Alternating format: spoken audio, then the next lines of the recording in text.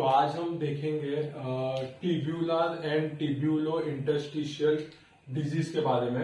तो इसके पहले के लेक्चर में हमने ग्लोमेरुलर डिज़ीज़ के बारे में देखा था। तो ग्लोमेरुलर डिज़ीज़ अगर होता है तो यानी कि फिल्ट्रेशन का प्रोसेस जो होता है यूरिन में वो हेम्पर होता है। लेकिन दूसरा, अगर टिब्यूल्स का या फिर टिब्यूल्स के बीच में जो इंटरस्टिशियम होते हैं, उसमें अगर डिज़ीज़ होता है तो क्या क्या देखने को मिलेगा कौन सा डिज़ीज़ हमें देखने को मिलेगा, क्या हेम्पर होगा, वो सब चीज़ हम आज देखेंगे। तो आज का जो टॉपिक है, उसका नाम है tubular and tubulo interstitial disease तो जैसे कि हमको पता है कि ये नेफ्रॉन है ये ग्लोमेरुलस है, उसमें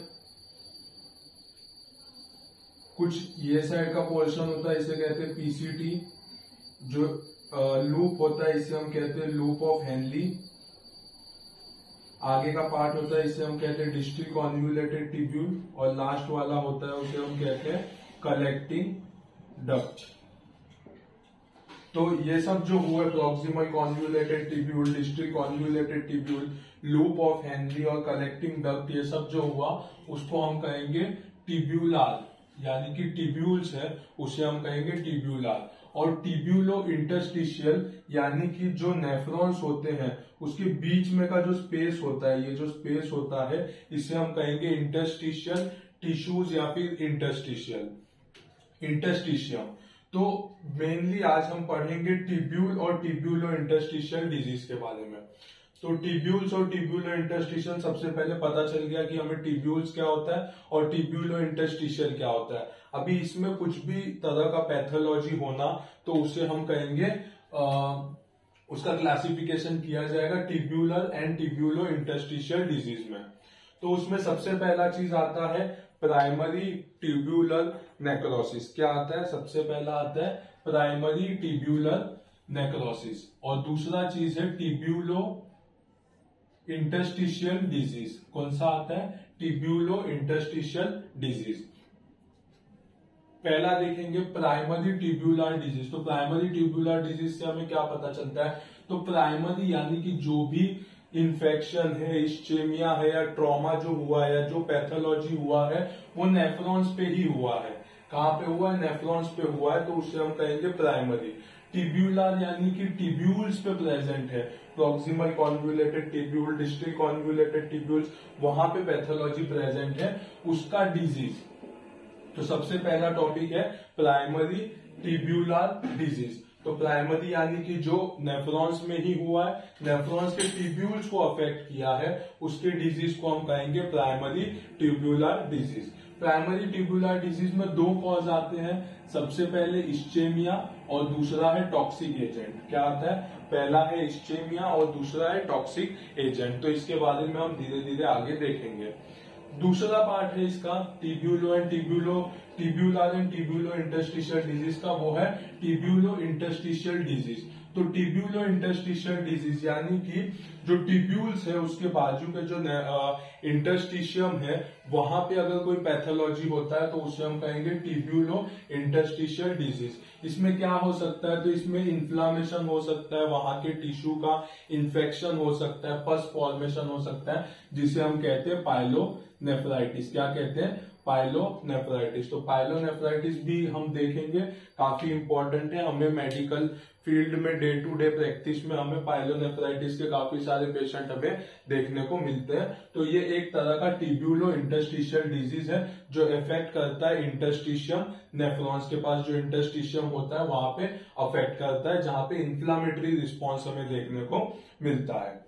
तो एक एक करके देखेंगे। सबसे पहला हम देखेंगे एक्यूट टिब्यूलर नेक्रोसिस तो जो प्राइमरी टिब्यूलर डिज़ीज़ है प्राइमरी टिब्यूलर डिज़ीज़ है, उसे हम कहेंगे एक्यूट टिब्यूलर नेक्रोसिस एक्यूट यानी कि सडन ऑनसेट टिब्यूलर यानी कि टिब्यूल्स प्रॉक्सिमल या डिस्ट्रिक कॉन्व्यूलेटेड टिब्यूल्स और नेक्रोसिस यानी कि decrease in the blood supply blood supply जब पूरी तरह से बंद हो जाएगा तो वहाँ का जो टिश्यूज है, वहाँ का जो सेल्स है, उसमें ब्लड सप्लाई नहीं जाने की वजह से वो नेक्रॉस्ड हो जाएँगे। ब्लड सप्लाई वहाँ पे एकदम स्टॉप हो जाएगा। तो कोई भी एक्यूट कॉज की वजह से सडन ऑनसेट या दो तीन दिन या कुछ टाइम के ऑनसेट से अगर टिब्यूल्स पे proximal convoluted tubules distal convoluted tubules में नेक्रोसिस होता है, यानी कि ब्लड सप्लाई स्टॉप होने की वजह से वहाँ के सेल्स मर जाते हैं सेल्स का डेथ हो जाता है तो उस कंडीशन को हम कहेंगे एक्यूट ट्यूब्यूलर नेक्रोसिस जिसका शॉर्ट फॉर्म है एटीएन तो इसका इंक्लूजन किया जाता है प्राइमरी ट्यूब्यूलर डिज़ीज़ में। तो सबसे पहला टॉपिक जो आज हमें पढ़ना है वो है एक्यूट ट्यूब्यूलर नेक्रोसिस यानी कि प्रोक्सिमल और डिस्ट्रिक्ट कॉन्व्यूलेटेड ट्यूब्यूल्स में किसी कारण से अगर ब्लड सप्लाई नहीं जाता तो वहाँ के जो एपिथेलियल सेल्स है वो मर जाते हैं और उस कंडीशन को हम कहते हैं एक्यूट ट्यूब्यूलर डिज़ीज़ तो एक्यूट ट्यूबुलर डिज़ीज़ सबसे पहला चीज़ क्या है? तो it is the most common form of acute renal failure सबसे कॉमन कॉज है एक्यूट रीनल फेलियर का। तो जैसे कि अगर टिब्यूल्स है, वहाँ का नेक्रोसिस हो जाएगा, वहाँ के सेल्स डाई हो जाएँगे तो क्या होगा जो हम कहते हैं एक्टिव या पैसिव डिफ्यूजन जो होता है एक्टिव या पैसिव डिफ्यूजन होता है इलेक्ट्रोलाइट का वाटर का, ये सब नहीं हो पाएगा और उसकी वजह से पेशेंट लैंड अप कर जाएगा रीनल फेलियर में। तो ये सबसे इंपॉर्टेंट फॉर्म है एक्यूट रीनल फेलियर का। इसमें क्या होता है? तो इसमें डिस्ट्रक्शन होता है एपिथेलियल सेल्स का। जैसे कि मैंने बताया कि टिब्यूलर एपिथेलियल सेल्स होते हैं, उसमें अगर ब्लड सप्लाई नहीं मिलेगा ऑक्सीजन नहीं मिलेगा तो क्या होगा? वहाँ के सेल्स मर जाएँगे और उसके वजह से वहाँ का जो एपिथेलियल एपिथेलियम है, वो अपना काम ठीक से नहीं कर पाएगा और पेशेंट लैंड अप कर जाएगा एक्यूट रीनल फेलियर में। तो जब भी डिस्ट्रक्शन होगा टिब्यूलर एपिथेलियल सेल्स का कैसे तो नेक्रोसिस होने की वजह से तो उसे हम कहेंगे एक्यूट ट्यूबुलर नेक्रोसिस और ये एक फॉर्म का ये एक कॉमन फॉर्म है एक्यूट रीनल फेलियर का। तो जो एक्यूट ट्यूबुलर नेक्रोसिस है, वो दो टाइप के होते हैं या फिर हम कह सकते हैं दो कॉजेज का होता है। सबसे पहला कॉज होता है इस्चेमिक एक्यूट ट्यूबुलर नेक्रोसिस कैसा होता है? इस्चेमिक एक्यूट ट्यूबुलर नेक्रोसिस और दूसरा होता है टॉक्सिक एक्यूट ट्यूबुलर नेक्रोसिस जिसके दो कॉज होते हैं। सबसे पहला इस्चेमिक एक्यूट ट्यूबुलर नेक्रोसिस और दूसरा टॉक्सिक एक्यूट ट्यूबुलर नेक्रोसिस तो इस्चेमिक एक्यूट ट्यूबुलर नेक्रोसिस क्या होता है? तो it is occurring due to the hypoperfusion of kidney और उसमें फोकल डैमेज होता है डिस्टिल कॉन्व्यूलेटेड टिब्यूल्स का। यानी कि इस्टेमिया यानी कि क्या होगा? Decrease in the blood supply जो ब्लड सप्लाई लेके आता है रीनल आर्टरी जो लेके आता है, वहाँ पे किसी कारण से अगर ब्लड सप्लाई कम आने लगा तो क्या होगा? किडनी में हाइपोपरफ्यूजन होगा. यानी किडनी में रिक्वायर्ड अमाउंट में ऑक्सीजन नहीं जा पाएगा ब्लड सप्लाई नहीं जा पाएगा, जिसकी वजह से हमें क्या देखने मिलेगा? तो फोकल डैमेज देखने मिलेगा जगह जगह पे डैमेज देखने मिलेगा नेक्रोसिस देखने मिलेगा टिब्यूल्स में और मोस्ट प्रोबेबली ये अफेक्ट करेगा डिस्टिल कॉन्जुलेटेड टिब्यूल्स को। किसको अफेक्ट करेगा? डिस्टिल कॉन्जुलेटेड टिब्यूल्स को। तो इस्चेमिक एक्यूट ट्यूबुलर नेक्रोसिस क्या होता है? तो ये एक टाइप का एक्यूट ट्यूबुलर नेक्रोसिस है। जिसमें हाइपोपरफ्यूजन होता है किडनी का और मोस्ट प्रोबेबली ये डैमेज करता है डिस्टिल कॉन्जुलेटेड टिब्यूल्स को। दूसरा चीज़ है, दूसरा जो कॉज है उसका नाम है टॉक्सिक एक्यूट ट्यूबुलर नेक्रोसिस तो इसमें क्या होता है तो ये एक फॉर्म का एक्यूट ट्यूबुलर नेक्रोसिस है, जिसमें डैमेज होता है proximal convoluted tubules by injection inhalation of toxic agent कोई भी प्रकार का टॉक्सिक एजेंट हुआ, उसका इंजेक्शन करने या इनहेलेशन करने की वजह से जो इफ़ेक्ट पड़ता है किडनी को, उसे हम कहते हैं टॉक्सिक एक्यूट ट्यूब्यूलर नेक्रोसिस तो ischemic tube acute tubular necrosis का मतलब होता है हाइपोपरफ्यूजन ऑफ़ किडनी होना, जिसमें मोस्टली डिस्टिल कॉन्व्यूलेटेड इफ़ेक्ट होता है, और टॉक्सिक एक्यूट ट्यूबुलर नेक्रोसिस में क्या होता है तो कोई भी टॉक्सिक एजेंट का इंजेक्शन या इनहेलेशन करने की वजह से जो ट्यूब्यूल्स पे इफ़ेक्ट होता है मेनली प्रोक्सिमल कॉन्व्यूलेटेड ट्यूब्यूल्स उसे हम कहेंगे टॉक्सिक एक्यूट ट्यूबुलर नेक्रोसिस अभी इसके बाद हम देखेंगे कि पैथोजिनेसिस क्या है हुँ? हम्म? तो इसके पैथोजिनेसिस क्या है तो pathogenesis of acute tubular necrosis pathogenesis of acute tubular necrosis तो दो में से कोई भी कॉज या फिर स्टेमिक कॉज स्टेमिक कॉज में क्या आता है? तो शॉक आता है क्रश इंजरी आता है, या फिर हम कह सकते हैं मिसमैच ब्लड ट्रांसफ्यूजन तो शॉक का मतलब क्या होता है? तो जैसे हमने पहले भी पढ़ा है शॉक के बारे में तो शॉक का मतलब अगर पेशेंट को किसी प्रकार का इंफेक्शन की वजह से ब्लड प्रेशर कम हो गया हो हार्ट का पंपिंग पावर कम हो गया हो तो उसकी वजह से ब्लड सप्लाई सारे ऑर्गन्स तक नहीं जा पाते और हम कह सकते हैं कि पेशेंट शॉक में है। दूसरा क्रश इंजरी किसी भी प्रकार का ट्रैफ़िक एक्सीडेंट या ट्रॉमा की वजह से जहाँ पे एब्डोमेन में किसी प्रकार का क्रश इंजरी हो जाए, जहाँ पे जो नेफ्रॉन्स है वो पूरी तरह से डैमेज हो जाएँगे तो उसके वजह से भी क्या होगा? ब्लड सप्लाई ठीक से नहीं हो पाएगा किडनीज में।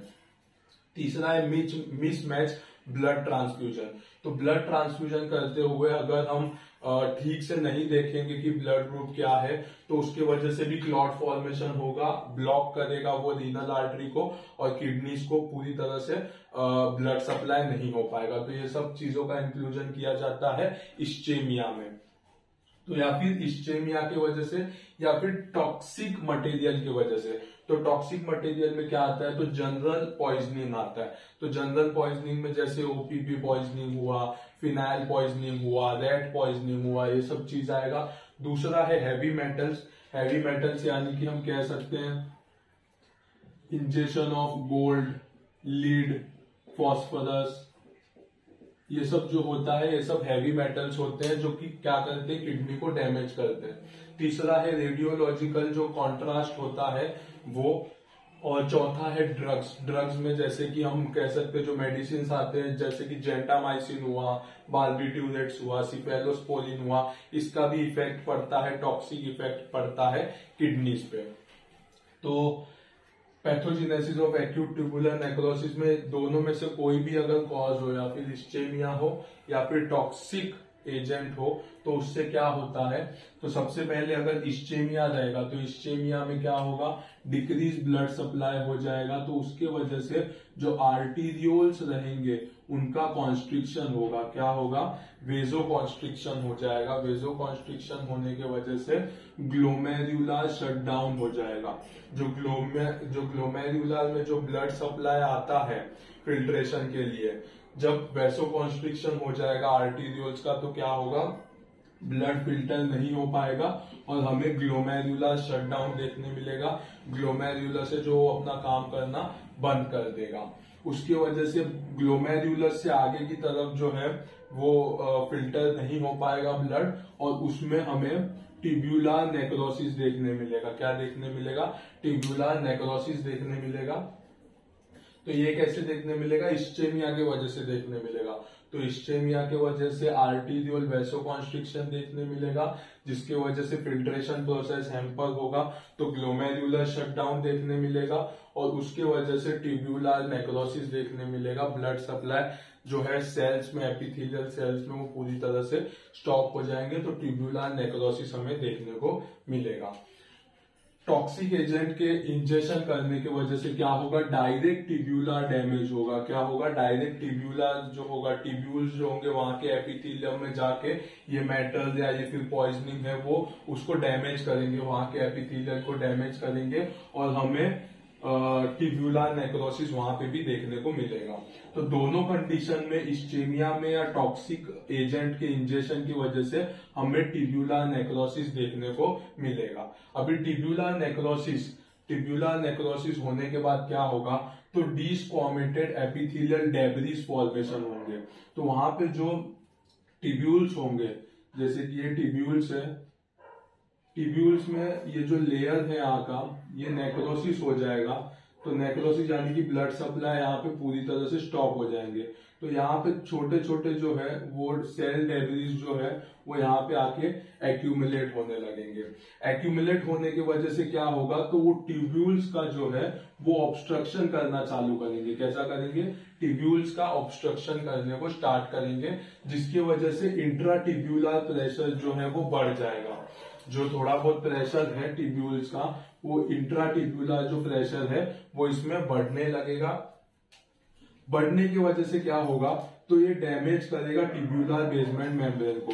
जब यहाँ का प्रेशर बढ़ जाएगा तो यहाँ पे जो बेसमेंट मेम्ब्रेन है टिब्यूल्स का, वो इसके ऊपर प्रेशर क्रिएट करेगा, जिसकी वजह से ये जो टिब्यूलर बेसमेंट मेम्ब्रेन है, वो भी क्या होगा? धीरे धीरे डैमेज होने लगेगा। डैमेज होने की वजह से टिब्यूला रप्चर भी देखने को मिलेगा। अगर यहाँ का प्रेशर जो है, वो इंक्रीज हो जाता है तो उसके वजह से क्या होगा? टिब्यूला डैमेज हो जाएगा रप्चर हो जाएगा, वो जो टिब्यूल्स है वो पूरी तरह फट जाएगा। फटने की वजह से क्या होगा? तो लीकेज हो जाएगा फ्लूइड का। यहाँ पे जो भी अमाउंट में फ्लूइड प्रेजेंट है, वो क्या होगा? डैमेज होने की वजह से बाहर की तरफ़ लीक हो जाएगा। टिब्यूल से बाहर की तरफ़ लीक हो जाएगा। तो टिब्यूल्स के बाहर क्या होता है? इंटरस्टिशियल स्पेस होता है। इंटरस्टिशियल स्पेस होता है या फिर हम कह सकते हैं इंटरस्टिशियम होता है। तो जो फ्लूइड होता है टिब्यूला रप्चर होने की वजह से, वो फ्लूइड क्या होगा? लीक हो जाएगा इंटरस्टिशियम में। इंटरस्टिशियम में लीक होने की वजह से यहाँ पे इसके सराउंडिंग पार्ट जो है, वहाँ पे क्या देखने मिलेगा हमें? इंटरस्टिशियल एडिमा देखने मिलेगा। एक्यूमुलेशन फ्लूइड एक्यूमुलेशन की वजह से इंटरस्टिशियल एडिमा देखने मिलेगा। इंक्रीज इंटरस्टिशियल प्रेशर हो जाएगा। यहाँ पे प्रेशर जो है इंटरस्टिशियम का वो बढ़ जाएगा और वो क्या करेंगे? तो वो टिब्यूल्स के ऊपर ही कॉम्प्रेस करेंगे। या फिर हम कहेंगे प्रेशर क्रिएट करेंगे, जिसकी वजह से टिब्यूलर नेक्रोसिस और भी बढ़ने लगेगा। क्या होगा? टिब्यूलर नेक्रोसिस और भी बढ़ने लगेगा और ये ऐसा साइकिल जो है, ये रिपीट होने लगेगा। हम्म? तो सबसे पहला pathogenesis of acute tubular necrosis के दो कॉज कौन से हैं? एक तो इस्चेमिया और दूसरा है इंजेक्शन ऑफ़ टॉक्सिक एजेंट तो इस्चेमिया की वजह से क्या होता है? तो इस्चेमिया की वजह से आर्टीरियोलर वेसोकॉन्स्ट्रिक्शन होता है, जिसकी वजह से ग्लोमेरुलर शटडाउन होता है और ट्यूबुलर नेक्रोसिस देखने को मिलता है। टॉक्सिक एजेंट के इंजेक्शन करने की वजह से डायरेक्ट टिब्यूलर डैमेज होता है और हमें टिब्यूलर नेक्रोसिस देखने को मिलता है। टिब्यूलर नेक्रोसिस एक बार हो गया तो उसके वजह से क्या होता है? तो टिब्यूल्स के अंदर एपिथीलियल डेब्रिस फॉर्मेशन होते हैं। डेड टिश्यू के वजह से एपिथीलियल जो है, वो उधर जमा होने लगते हैं, जिसके वजह से टिब्यूलर ऑब्स्ट्रक्शन होता है। ऑब्स्ट्रक्शन होने की वजह से इंटर टिब्यूलर का जो प्रेशर होता है, वो इंक्रीज होने लगता है। बहुत ज़्यादा इंक्रीज होने के बाद वो क्या करता है? टिब्यूलर बेसमेंट मेम्ब्रेन को डैमेज करने लगता है, उसे रक्चर कर देता है। एक बार ट्यूबुलर जो रप्चर हो जाए तो ट्यूबुलर रप्चर होने के बाद क्या होता है? जो फ्लूड प्रेजेंट रहते हैं अंदर ट्यूब्यूल्स के, वो क्या होते हैं? इंटरस्टिशियल स्पेस या फिर हम कह सकते हैं इंटरस्टिशियल में आके एक्यूमुलेट होने लगते हैं। वहाँ पे एडिमा होता है, वहाँ का प्रेशर इंटरस्टिशियल प्रेशर इंक्रीज हो जाता है, और वो इनडायरेक्टली कॉम्प्रेस करता है ट्यूब्यूल्स को, जिसकी वजह से ट्यूब्यूलर नेक्रोसिस देखने मिलता है, और ये साइकिल रिपीट होता है। एक बार टिब्यूलर नेक्रोसिस हो जाए टिब्यूलर नेक्रोसिस होने के बाद सबसे मेन फैक्टर जो देखने मिलता है वो है रिड्यूस जीएफआर तो ग्लोमेरुलर फिल्ट्रेशन रेट है, वो अपने आप कम हो जाता है और पेशेंट में ऑलिग्यूरिया देखने मिलता है। उसके साथ साथ पेशेंट जो है, वो लैंड अप कर जाता है एक्यूट रीनल फेलियर में। हम्म तो एक्टिब्यूलर नेक्रोसिस होने की वजह से क्या होता है? ग्लोमेरुलर फिल्ट्रेशन जो रेट होता है, वो कम हो जाता है। ऑलिग्यूरिया देखने मिलता है। उसकी वजह से एजोटेमिया देखने मिलता है, यानी कि जो क्रिएट और यूरिया है, वो वॉश आउट नहीं हो पाते और पेशेंट लैंड अप करता है एक्यूट रीनल फेलियर में। तो एक्यूट ट्यूबुलर नेक्रोसिस का ये पैथोजिनेसिस है। यहाँ तक सबको समझ में आया होगा। तो दूसरा चीज़ हमें जो देखना है वो है मॉर्फोलॉजिकल फीचर तो इस्चेमिक एक्यूट ट्यूब्यूलर नेक्रोसिस में मॉर्फोलॉजिकल फीचर क्या देखने मिलता है? मॉर्फोलॉजिकल फीचर्स क्या देखने मिलते हैं? तो मॉर्फोलॉजिकल फीचर में सबसे पहला चीज़ हमें देखने मिलता है वो है एनलार्ज एंड स्वोलन किडनी जो किडनी है, वो उसका साइज़ बड़ा देखने मिलता है और वो स्वेल हो जाता है फ्लूइड के एक्यूमुलेशन की वजह से।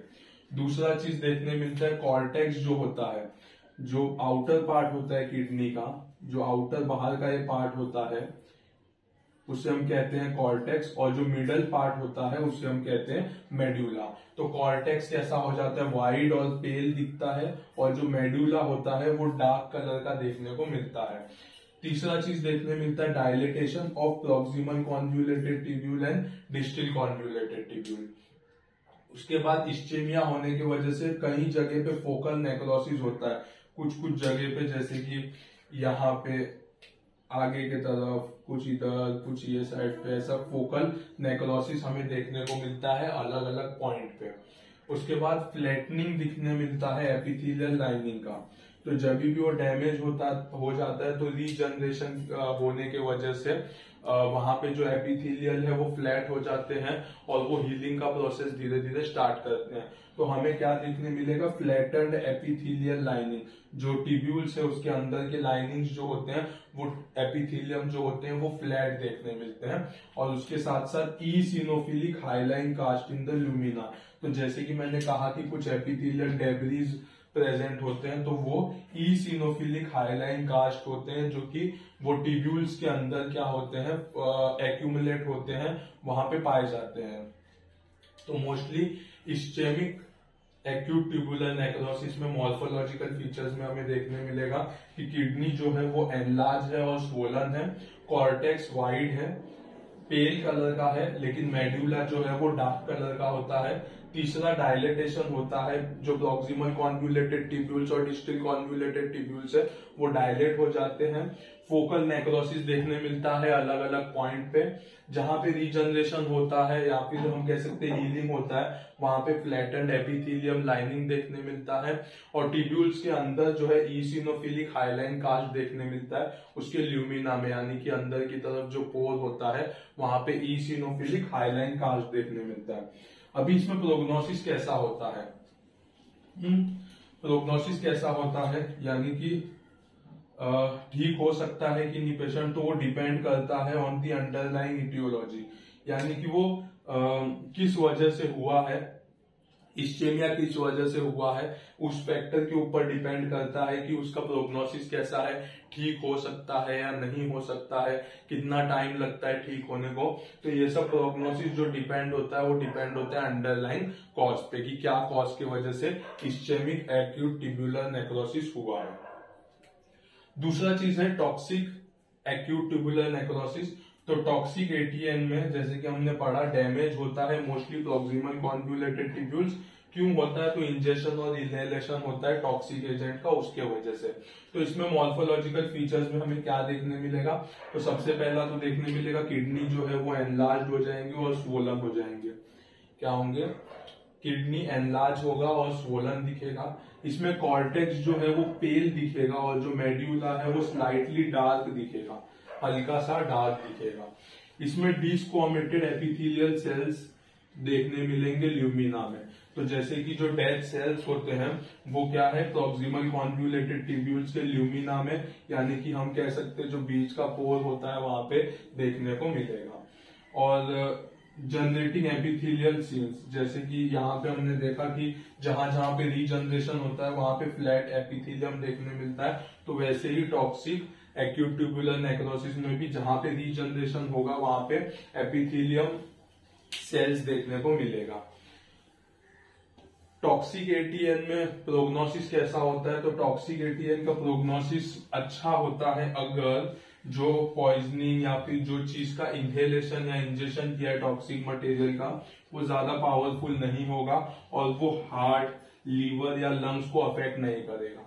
हम्म? अगर जो टॉक्सिक मटेरियल है, वो जाके हार्ट को लीवर को या लंग्स को, ये सब जगह को जाके अफेक्ट करता है तो मोस्टली प्रोग्नोसिस वहाँ का पुअर होता है पेशेंट के बचने का चांसेस काफ़ी कम होता है। तो इसका जो प्रोग्नोसिस होता है, वो अच्छा होता है, लेकिन अगर हार्ट लंग या लीवर डैमेज नहीं हुआ होगा तो अगर इनमें से कोई भी ऑर्गन डैमेज हुआ होगा तो इसका प्रोग्नोसिस काफ़ी ज़्यादा पुअर होता है।